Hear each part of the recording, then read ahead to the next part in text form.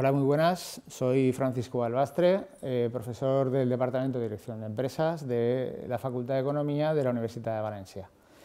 Y bueno, voy a hablaros sobre la gestión por procesos como base para la gestión de la calidad. Es una breve exposición enmarcada en el proyecto de investigación docente titulado Elaboración de continguts multimedia para la mejora de la motivación y rendimiento académico. Bueno, a nadie escapa que hoy en día eh, la gestión de la calidad, o bueno, la calidad es utilizada como una estrategia, como una forma de competir por muchas organizaciones y esto es debido básicamente a que facilita la mejora en la productividad y la eficiencia a través del ahorro en costes y también contribuye a mejorar la imagen de la empresa, el valor percibido por el cliente y por tanto su diferenciación. Además de estos factores, hay muchas organizaciones que necesitan aplicar y necesitan demostrar que trabajan con calidad. Muchas veces, pues, por ejemplo, eh, los clientes exigen a estas organizaciones que tengan un certificado de calidad. Puede suceder que yo tenga que meterme en los temas de calidad por eh, requisitos legales o incluso en algunos casos, pues claro, toda la industria, mis competidores lo hacen, yo necesito trabajar y necesito demostrar que tengo la calidad. Por tanto, eh, podemos decir que en los entornos actuales eh, hay muchos niveles de exigencia y de madurez por parte de las organizaciones en el ámbito de la gestión de la calidad. También se utilizan distintos estándares o distintos modelos o normas de referencia. Por ejemplo, la ISO 9001 es una norma muy, muy utilizada en el ámbito empresarial, el modelo de FQ de excelencia y muchos otros. Y también las empresas o las organizaciones buscan distintos esquemas de, o niveles de reconocimiento. Pues tenemos las certificaciones de calidad, tenemos los sellos de excelencia. Es decir, en definitiva, todo esto hace que la calidad pues, haya cogido muchísima importancia hoy en día. Pero detrás de, todo este movimiento de la calidad, eh, la gestión basada en procesos es un principio de gestión fundamental para todas las organizaciones que quieran trabajar en, en esta dinámica. ¿no?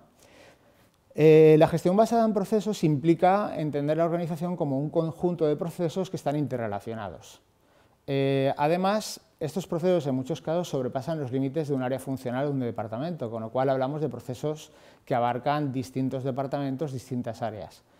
Y por ello hace que entendamos la organización desde una perspectiva transversal, en lugar de hacerlo desde una perspectiva eh, más vertical, clásica, como toda la vida se habían venido entendiendo las estructuras de las organizaciones. Por tanto, a partir de ahí, esta mm, perspectiva transversal de las organizaciones hace que las empresas, las empresas tomen eh, como inputs básicos las necesidades y las expectativas de sus clientes usuarios y que a través de una serie de procesos que están coordinados las transformen en productos y servicios que se ajusten a lo que el cliente o el usuario en primera instancia había, había solicitado. Para poder aplicar este principio, esta forma de trabajo, esta lógica de trabajo, eh, normalmente lo hacemos a través de cuatro, etapas o fases claramente definidas, que son las siguientes. En primer lugar, lo que hacemos es identificar y relacionar los procesos de la organización. Una vez tenemos estos procesos identificados y relacionados, lo que hacemos es describirlos. En tercer lugar, nos tocaría controlar los procesos, es decir, hacer un seguimiento y una medición de los mismos. Y por último, lo que hacemos es mejorarlos continuamente. Bueno, pues estas cuatro etapas configuran el proceso, valga la redundancia, que nos permite aplicar este principio de gestión tan importante en la gestión de la calidad como es la gestión basada en procesos. Centrándonos en, la primera etapa, que es la que tiene que ver con identificar y relacionar los procesos, eh, lo que hacemos en el ámbito de las organizaciones es bueno, enumerar los procesos que tenemos y a partir de ahí intentar relacionarlos de alguna forma. Para ello nos servimos de una herramienta gráfica que es lo que se conoce como el mapa de procesos. Aquí en la pantalla podemos ver un mapa de procesos eh, figurado de una empresa del sector de la construcción.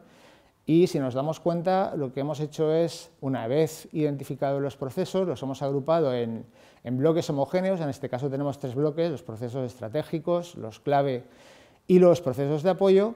Y hemos intentado en la medida de lo posible relacionarlos entre sí eh, conectando las necesidades y expectativas del cliente, que lo tenemos en la parte de la izquierda de la transparencia o de la pantalla, y eh, transformando estas necesidades y expectativas a través de distintos procesos en productos y servicios. Una vez tenemos el mapa hecho, mm, en la segunda etapa lo que vamos a hacer es dar eh, letra a cada uno de estos procesos, es decir, poner por escrito cómo cada uno de los procesos se va a desarrollar. Para ello nos servimos muchas veces de herramientas gráficas como los diagramas de flujo. Aquí en la parte de la izquierda de la pantalla tenemos un diagrama de flujo, es un ejemplo. Nos damos cuenta que utilizamos distintos símbolos con distinta eh, significación cada uno de ellos. Y una vez tenemos el diagrama hecho, lo que hacemos es darle letra a ese diagrama. Es decir, en la parte de la derecha tendríamos un poco la, narración, ¿no? la descripción, es decir, la explicación escrita de cómo se hace el proceso, quién es el responsable de las distintas actividades, cuál es la secuencia de actividades, qué inputs utilizamos en cada una de ellas, cuáles son los outputs. Es decir, este documento escrito es lo que tradicionalmente conocíamos como procedimientos. Hoy en día se habla de procesos documentados, pero al final son la base documental del sistema de gestión de calidad de la, organización. Una vez los procesos están descritos y se ponen en marcha en la organización, la tercera etapa tiene que ver con su control. Para ello necesitamos medir los procesos y es fundamental el uso de indicadores.